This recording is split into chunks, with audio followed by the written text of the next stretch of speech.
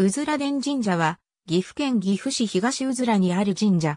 美濃国厚見郡、うずら里の産砂神である。子供と健康の神社として信仰がある。本殿のおなし竜などの彫刻は、左神五郎の作と伝えられている。771年、舎人親王の孫がこの地を開拓しうずら里と名付けた際、土地の鎮守の祠を建てたのが始まりという。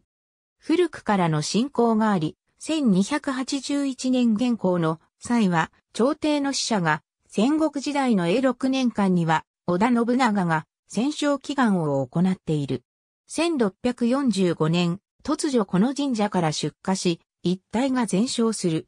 この際、狛犬と身体、本殿の彫刻の一部は無事であったという。この火災については、口述の伝説がある。1655年、加納城城主、松平道重の命で再建される。この際神宮寺として、返上寺が設置され、この頃から五頭天皇社と呼ばれるようになった。明治初期、廃仏希釈により、五頭天皇社と返上寺は分離される。1873年に合社となり、うずら殿神社に改称する。1891年の濃尾地震で社殿が倒壊。復興後1997年に大改修が行われている。左神五郎作の竜の彫刻には命が宿っており、夜になると空へ舞い上がっていたという。村人はそれを恐れていたが、お初という足の不自由な娘だけが竜を恐れることなく、竜と毎日遊んでいたという。そんなある日、年貢を納められなかった母親が、加納城の役所に連れて行かれ、牢屋に入れられてしまった。